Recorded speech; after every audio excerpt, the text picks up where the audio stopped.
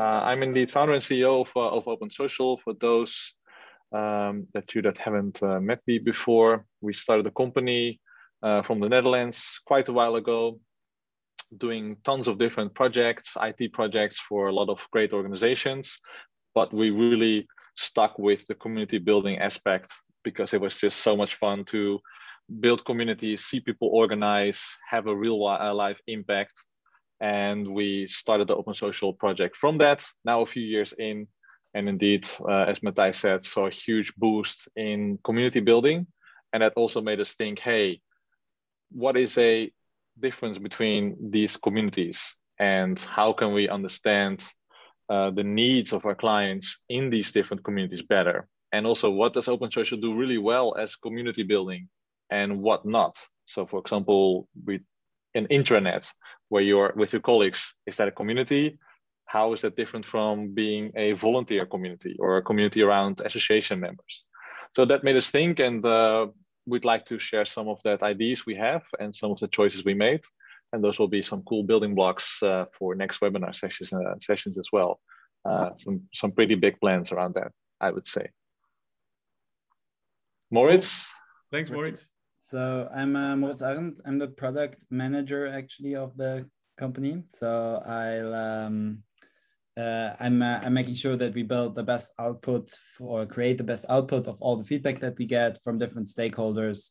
Um, so obviously also for me, it's very important to understand like there's different community types and the different needs that people have, right? So to create a roadmap that really fits the needs of the customers, of the end users, um, it's it's to it's, it's important to understand what are people actually using the community for. We also done a lot of research in that over the last year to understand on different levels from a business needs, from a site manager need, from a community manager need, from a end user need, like uh, what are people coming for for open social and um, yeah i think like this uh, community types um, really helped me figuring out um, what are different use cases and what could be like prototypical uh, uses of open social and what are the features that really facilitate the overall goal of those different um, prototypes of communities so looking forward for the discussion today looking also forward of, of, always to get impact from people who are um,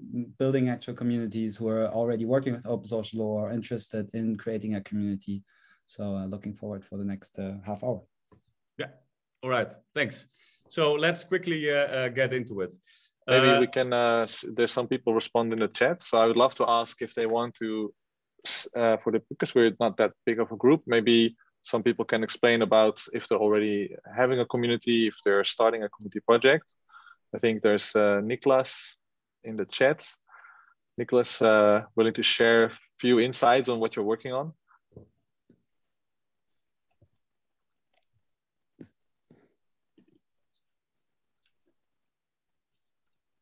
No. Maybe, uh, let's see, Italo, is that your first name or last name? My name is Italo, yes. Italo, yes. I'm Italian. Um, well, That's I am um, Italo from Italy is quite easy, straight. Uh, yeah, I'm very interested in this because I'm a Drupal developer since long time, and uh, what I like the most of Drupal, I know that uh, OpenSocial is also based mostly in Drupal, and what I like the most of Drupal among all its great features is the community so what is uh, behind the, the, all the Drupal developments and uh, this open source community that uh, uh prefers uh, uh, collaboration over competition. So I really like digital communities. besides these, I am a passionate, fan, and also expert about digital mapping I'm maintaining all the geofield stack for Drupal 8 and Drupal 9. And I like uh, communities based on, uh, on geolocation. I think that there is a great potential in uh, building uh, shared knowledge on a geolocated base.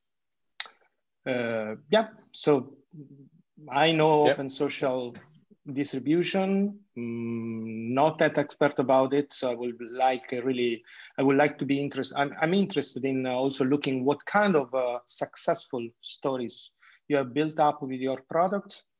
yeah, we'll share some of it. that. Yeah. Okay, thanks. Great.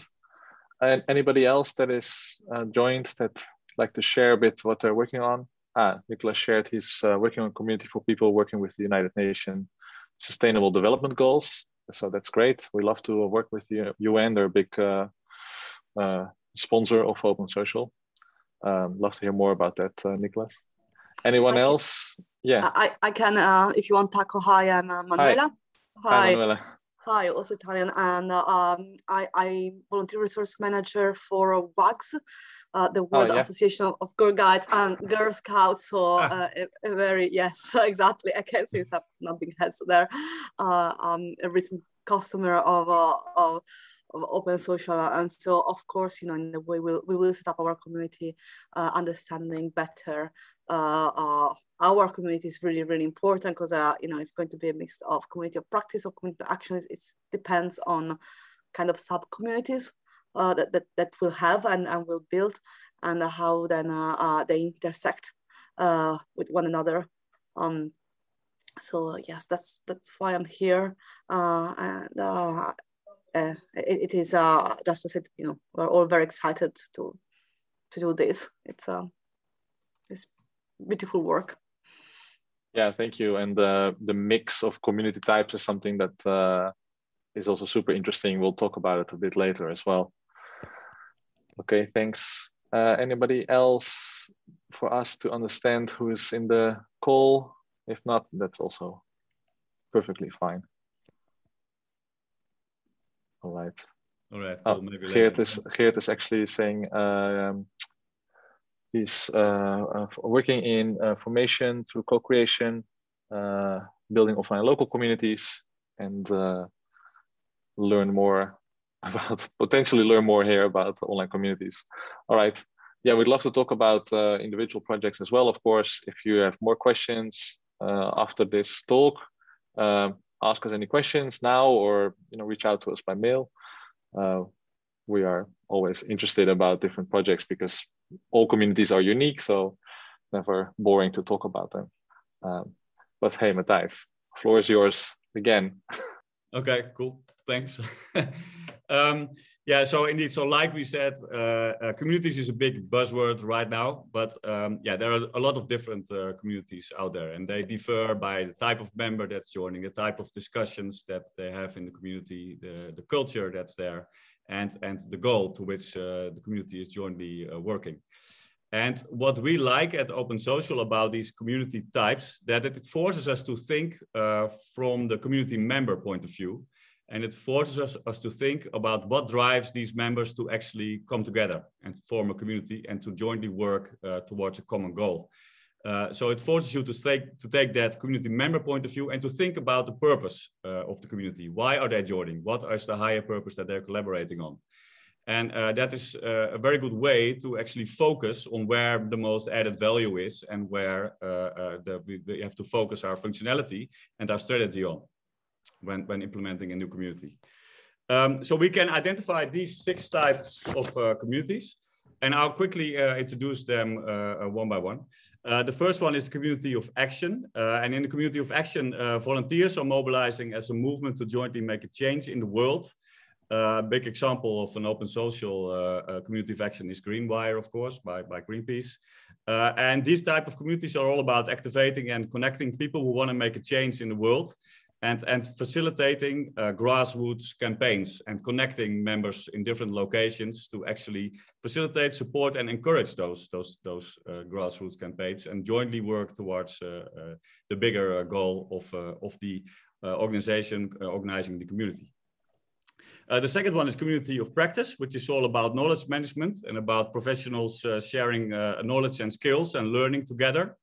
Uh, so this is all about uh, sharing, sharing learnings and sharing back best practices.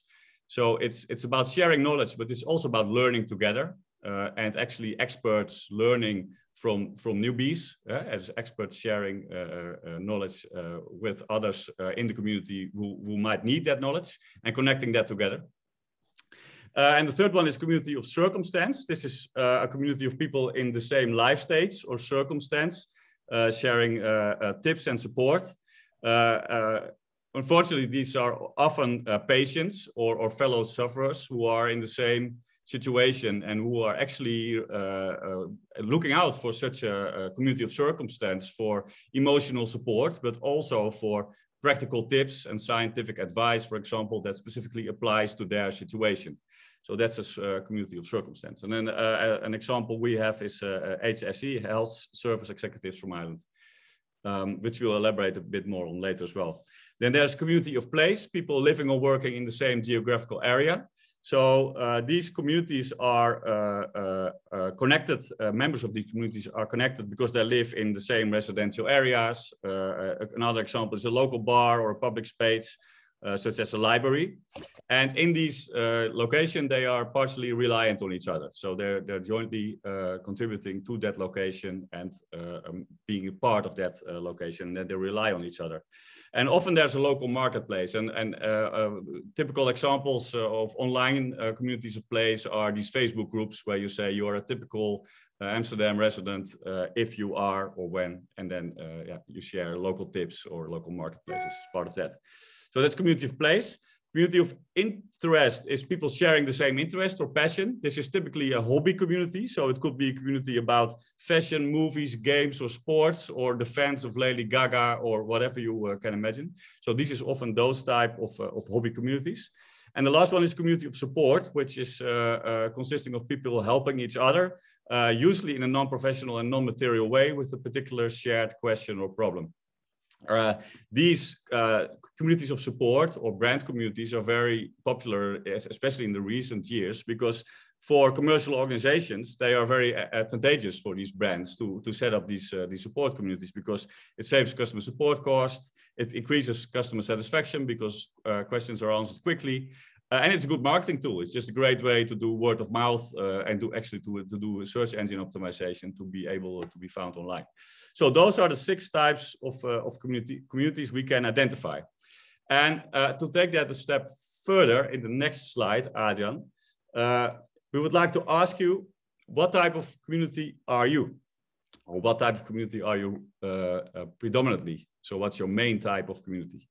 And we have there the six options that you can choose from. And the seventh one is, well, I'm a mix of different types, or I'm not sure. I don't know. My type is not here. Then we would like to hear what type of community you are.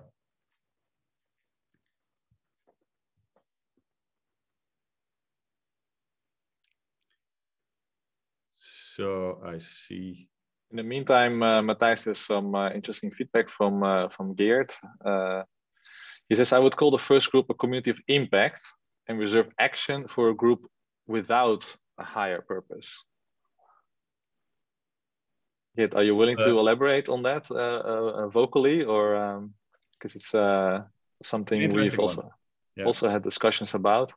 Yeah, yes, I will. Um, it's, it's something I miss because I, of course, I'm looking more from uh, offline communities, but I know a lot of communities who are doing things together and, and forming a community because they they do some they act together they do some things they organize uh, uh, uh, a party or or uh, or ongoing things together but without a higher purpose without wanting to change the world.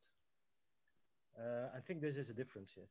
Not not i, I don't uh, um, how, how do you say it i don't um, say the one is better than the other, but it's it's something it's, it's a difference, I think.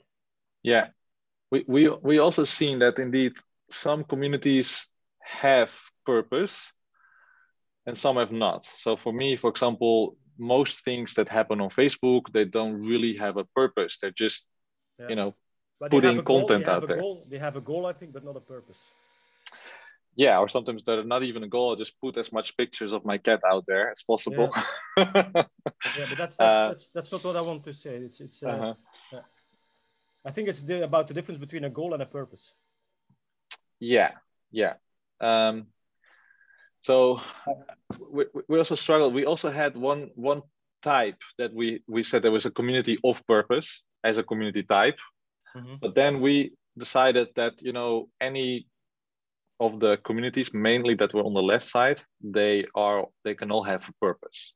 While the community on the right side they have much less purpose. So the community around amsterdam mm-hmm. has much less purpose or community around interest like lady gaga has much less okay. purpose.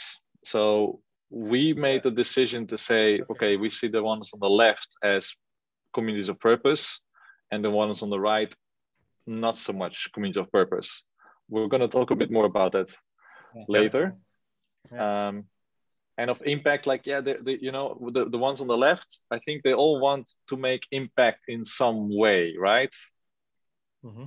the community of circumstance I think, right. I think you're right that an action like a community of action does not automatically imply a purpose but for us in our definition and in the in the areas we work it we, as taco said like we decided it does so mm-hmm. so basically like that's why we to choose for action because it differentiates towards other communities in terms of you want to uh, organize events you want to go into like uh, like uh, workshops and so forth right like that that you really want to drive a change in the world by your actions. So basically, I think how we defined it is like similar to how you see the impact one, but um, it's it's definitely like maybe even describing it better. What we what I am talking about is is also connected to communities of place, but here you say they are living or working in the same geographical area. But it's that's the reason why they are on, on the same community. But you have, can have you can live in the same uh, place but not connecting because you're living in the same place, but connecting because you want to act together. Yeah. Yeah. Yeah. Again, interesting that you would mention it because this is another community type we had a lot of discussion around where I tend to agree. Um, and it's also one of the reasons why we didn't really like the ones on the right side, we said we not primarily focus on, um, as le- at least from our side, um, because we feel the same about this. That yeah. location feels a little bit like a second, almost secondary indicator. That being said, there are obviously like like uh like a local community for your for your neighborhood right? That is really around your neighborhood. So kind of like the purpose is then might maybe still to improve your neighborhood but the primary connector of that community and the identifying factor of it is the location but we agree with you that in generally this is almost more like a secondary identifier for a mm. community or yeah. a grouping factor or such so this is also why we decided to put it on the right side why it is very valid and applies to also a lot of those hybrid models um, which uh, I think Matthias will get, get into soon. um, we, we don't want to fo focus on it primarily. Yeah, yeah. I think what, what's clear here already from this discussion is that these are theoretical handles to approach your community and what is the common denominator of the members and what is what is binding them together. And these are theoretical handles. And in practice, just realistically, they often communities are often uh, different types at once. So they're a combination of these types, and these types often bleed into each other. So they're often a combination. And you might even argue that it's uh, if your community is a combination of these different theoretical community types, that it's actually good, because uh, then you, that means you have a very clearly defined uh, group uh, of members that are part of your community. So you have a clear identity and you have a clear uh, uh, line between who is part of your community, who is your target group, and who is not which is good because then people identify with that and you have uh, uh, you can actually uh, uh create your engagement strategy and, and your activation based on a very uh, strict target group. So uh, you have a much better way to approach them. Um, so in these these are theoretical handles and they often bleed into each other. It's clear that that's that that's the case. And the persons of answering mixed i'm not sure saw that already. Uh, can would those want to elaborate if they are consciously saying we are a mix, or or are you just not sure and you want to introduce also a new type of community? No, I I, I, will say that uh, we are a mixed. Uh, um, in the sense that you know if I look at the community of action, so if Girl Guides and Girl Scouts, and there is a very strong element of girl-led advocacy, uh, and so it's really you know about uh, enabling and empowering girls to take action on matters that that matters to them. So it's not our own advocacy, it, it is uh, you know, their advocacy. And our role is to give them the tool uh, uh, to thrive and, and grow as a, a, as girls and young women. And within those tools, there is also girl advocacy. So that's you know the action, but also we have a large community of volunteers. So in that case, it's even different because so it's two actions, right?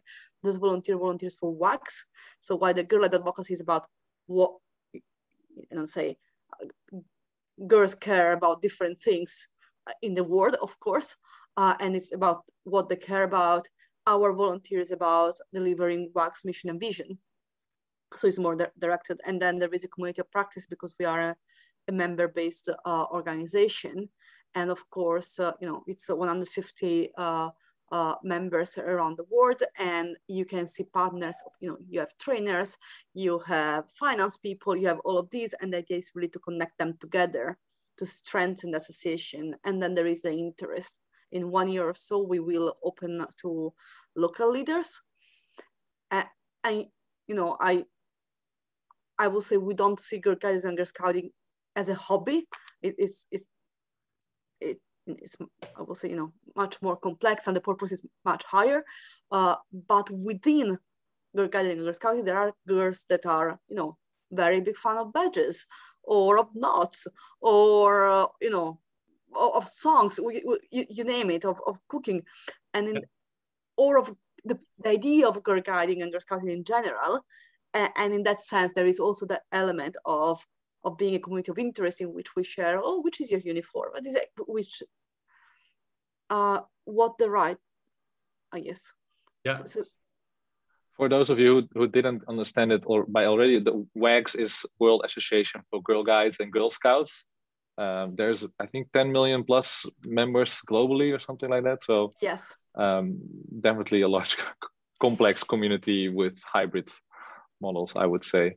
Yeah. Um, yeah. Yeah. So so indeed, so you're you're a mix of all these types. And what we often see also in practice happening is that uh, there are subgroups within a community that that that have uh, a specific community type. So that have a specific goal or a specific purpose. So like you said, maybe there's a subgroup with uh, a specific with cat lovers within the WAGGGS community. I don't know. We, we, we, could say something. You mentioned some other examples just now. Uh, but that's very much part and actually an important part of community building as well. So, so also for when you create a subgroup, it's good to identify what is the purpose of this subgroup. Is it to uh, to actually activate uh, uh, volunteers or to activate uh, some of my members in this community to become part of a committee, for example, of a member committee, and to become part of a working group and to actually work together? or is uh, is it a specific subgroup for for sharing knowledge or sharing learnings or sharing blog posts or white papers and scientific content about a specific topic that is a, community of circum community of practice in in, in that case. and, and so it makes very much sense to also think of these community types when you create a subgroup because it makes it very clear about what's the purpose of that subgroup and, and how uh, are people supposed to, to contribute to that and why, are, why should they visit that group? Uh, so for that purpose, uh, it, it, also makes great sense.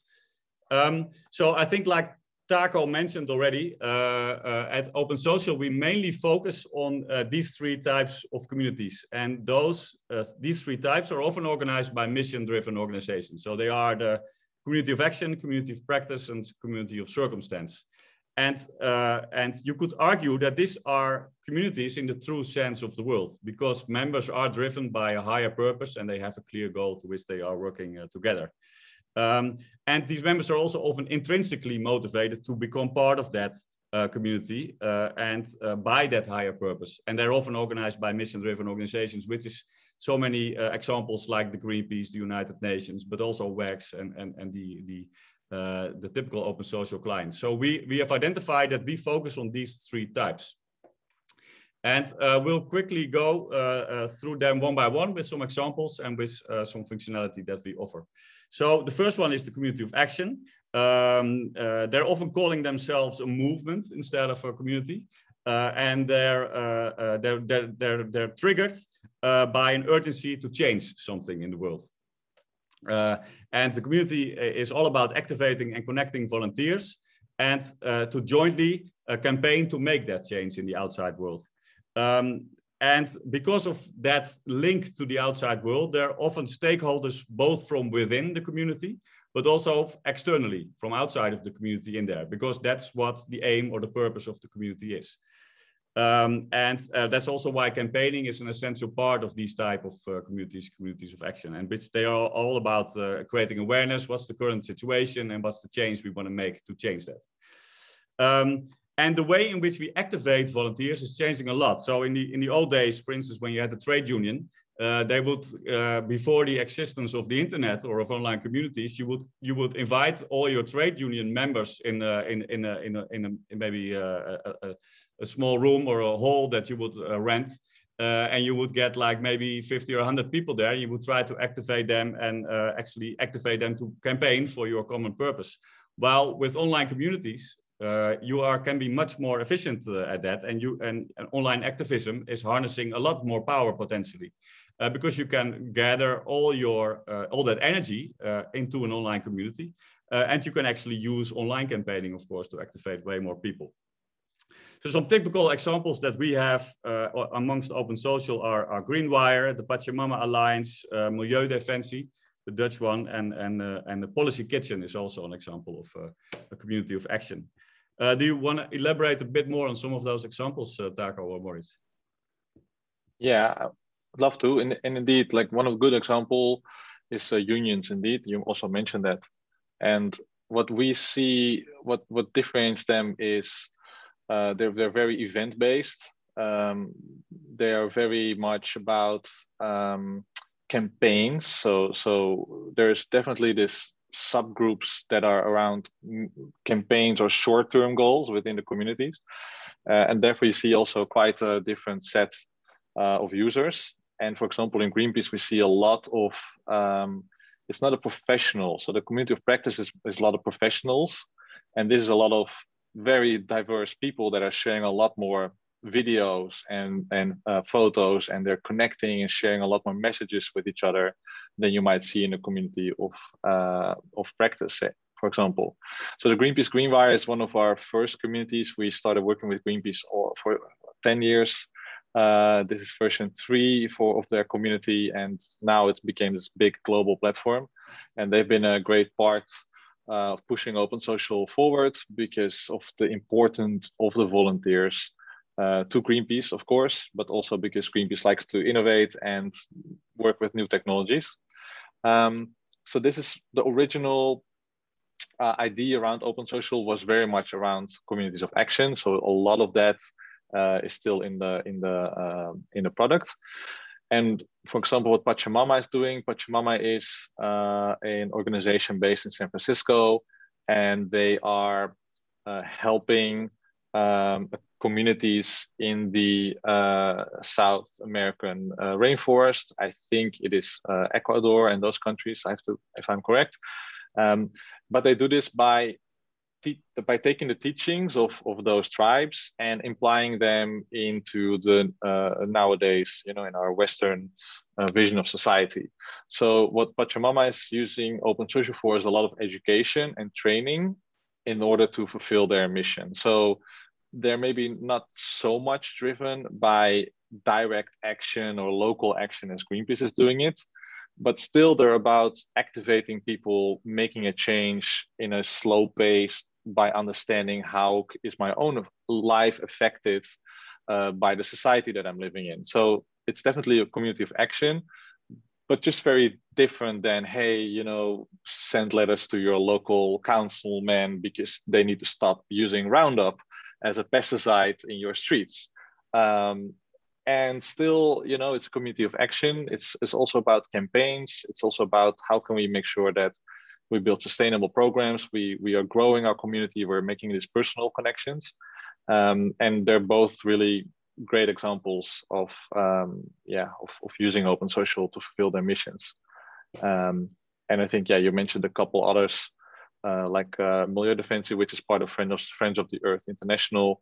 That's the group that just won this major uh, lawsuit against uh, Royal Dutch Shell that they actually need to uh, step it up in terms of their uh, CO2 reduction. So there was a great global win for them. And they're also organizing their volunteers through Open Social. So we were very proud of that moment. Um. Cool. Moritz, would you like to elaborate on some of the specific functionality that we offer to these communities yeah.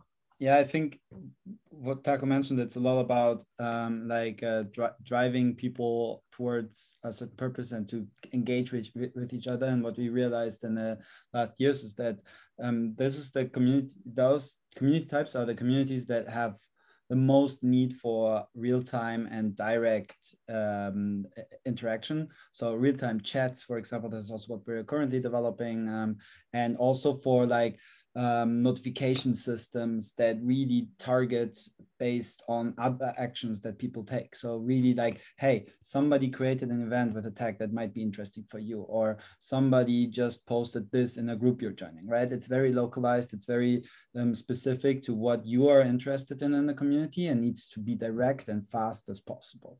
So I think push notifications, native app, a lot of mobile usage in, indeed in here. So I think this is a very direct, fast paced, uh, informal community type where a lot of interaction between user to user uh, on a very individual level is happening.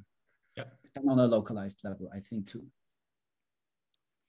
All right, clear. Is there uh, any uh, uh, community of action in the room that would like to elaborate on how they are activating their volunteers or how they are using uh, uh, their platform uh, to activate their volunteers? Maybe, maybe I, I like one thing. I just what we clearly see though is that this all these platforms incorporate groups of different types. So there are definitely in Greenwire local groups around people in Amsterdam. They're still about action, but they're very localized. And also we see a lot of uh, interest groups. So yeah around say music um, interest and or, or organizing. So these groups are a very important and also active part of the community. And the funny thing is that um, what, what what also made really happy is that when when we when we talked to the greenpeace users they said oh i made like great friends through the platforms.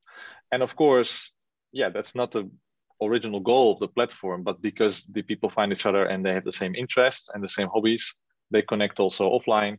Um, and that was also like a thing that we need to realize. Okay, this this private messaging or group chats they are actually really important um, because people want to talk about anything, uh, as Moritz said, real time, and not just about campaigning or or organizing. So it becomes a much more of a social network in that sense as well.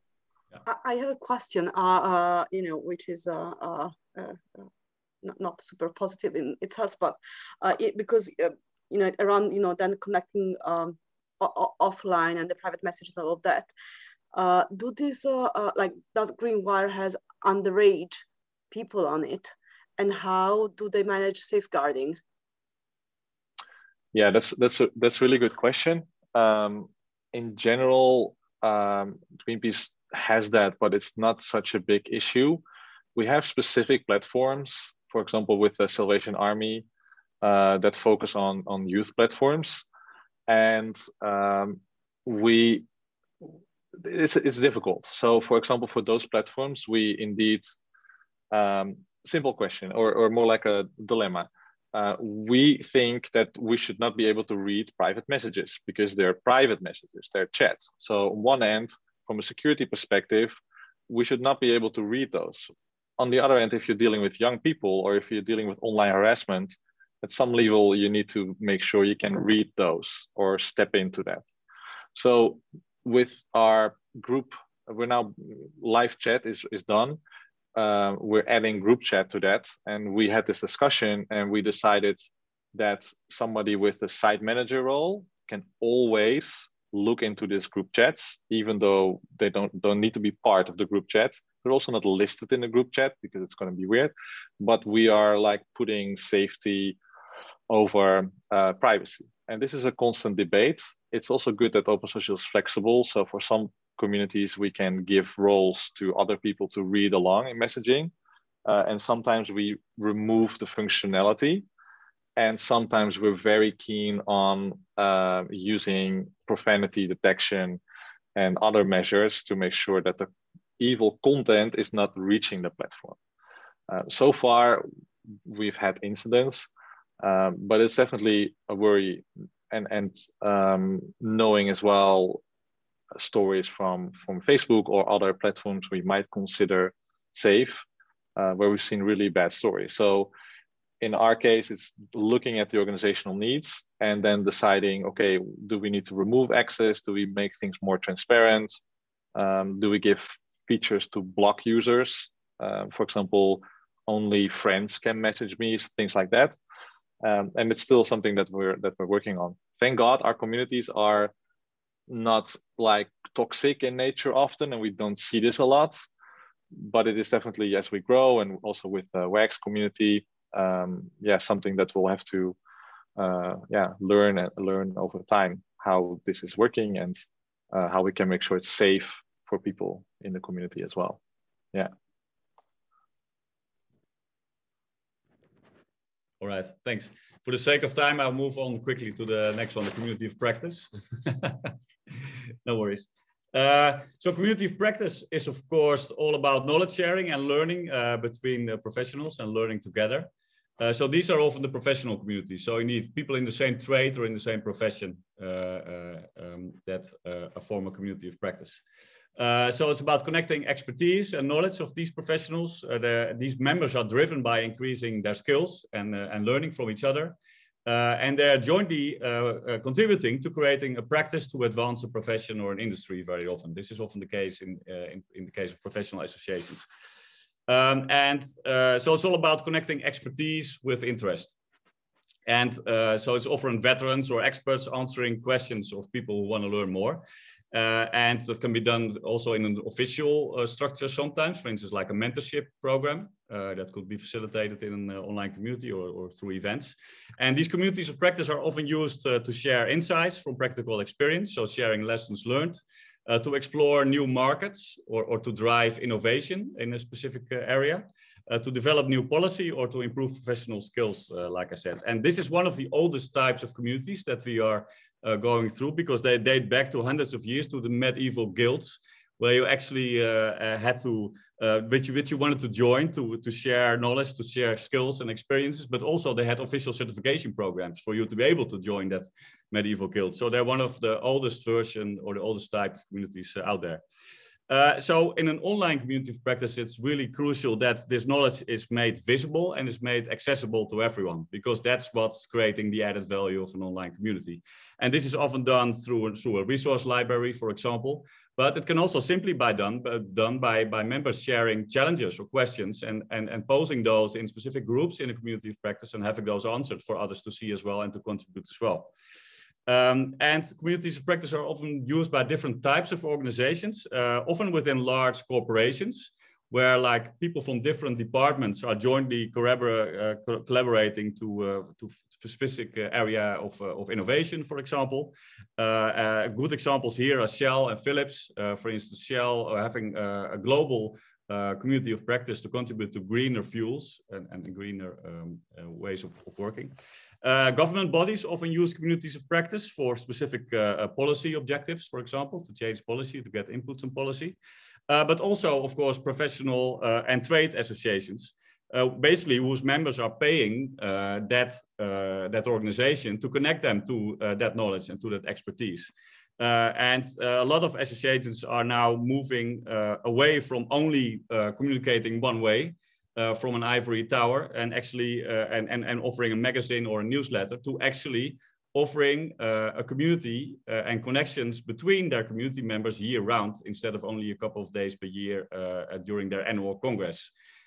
this is a hobby horse of me, which I've been talking a lot about. I won't do, do it now, but uh, I see a major opportunity for associations like Indeed WAGGGS, I see you smiling, as well, to offer that connection year round instead of only at face-to-face -face events as they, as a lot of associations are used to doing for almost 50 or 60 years since the start of the international conference uh, industry. And there's also a massive uh, opportunity here for an association to have more impact and to have more input and more output towards their, their goal or their mission.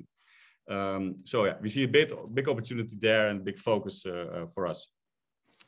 Um, so some examples, some clear examples we have is Spark Blue uh, and uh, IATI. I'm looking at the time. I think for now uh, I'll, I'll move on from these examples. We also have shared, uh, I, want to share that already on our website, a blog post with links to these communities and to the specific tools that we offer per type of community. So you can definitely look ahead there as well. Um, do you want to add something, more, Jeff? Yeah, I would would like to quickly add something to this because I think it's very interesting um, to say like um, the biggest advantage I see here is like that you actually can make a transfer from a very passive uh, community type or from a very passive way of distributing knowledge to a very active one right?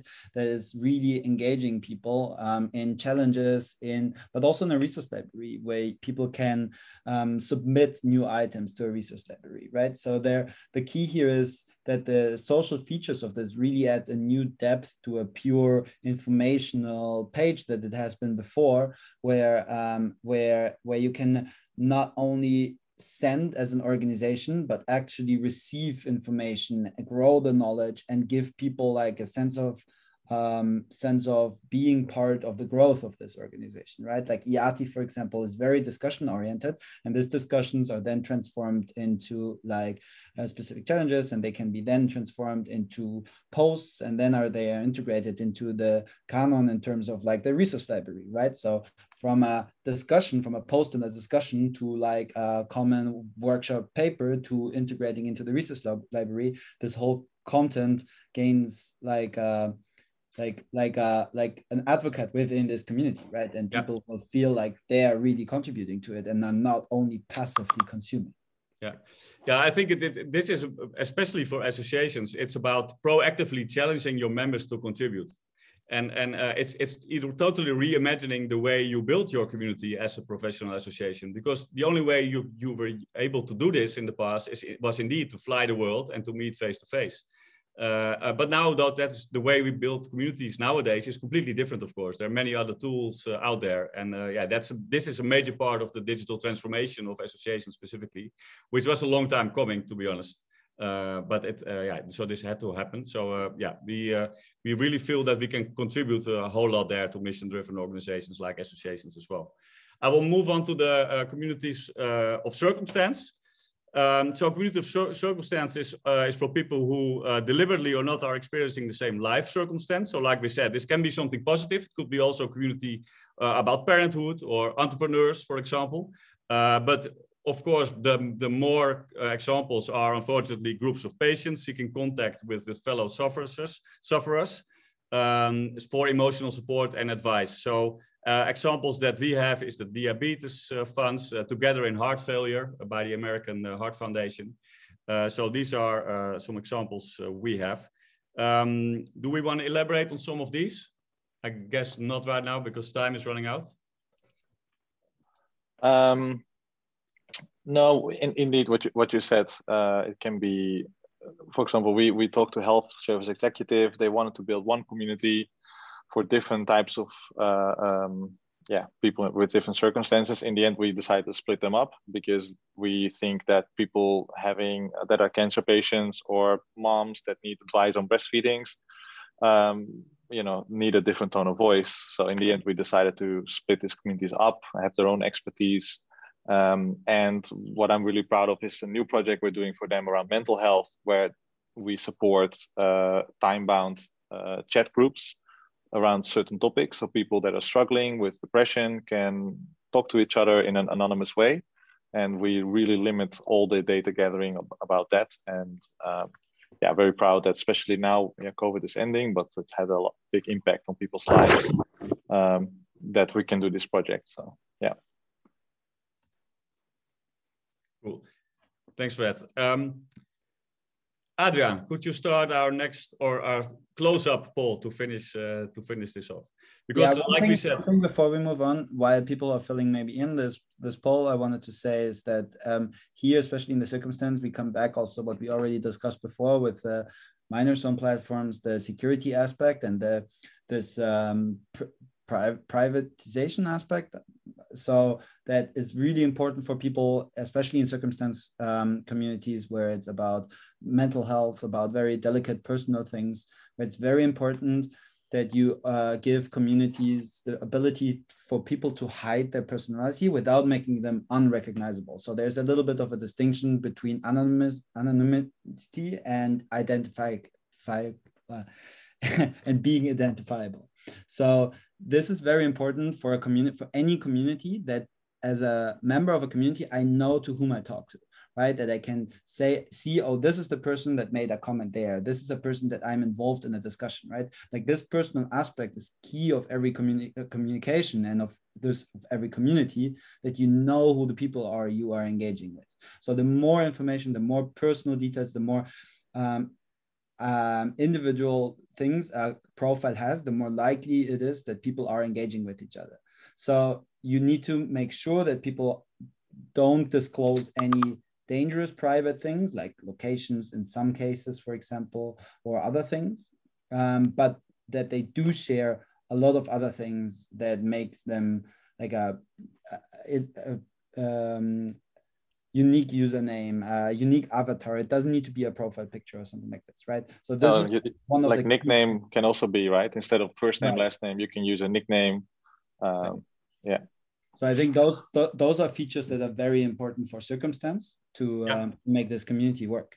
Yeah, and this is also what what uh, what specifically uh, it's added value of an owned platform, right? Uh, because you know your data is safe, uh, as opposed to maybe a public social network where you may might also be able to join under a false name or anonymously, but uh, still your data is not owned by you or by the organization that you trust.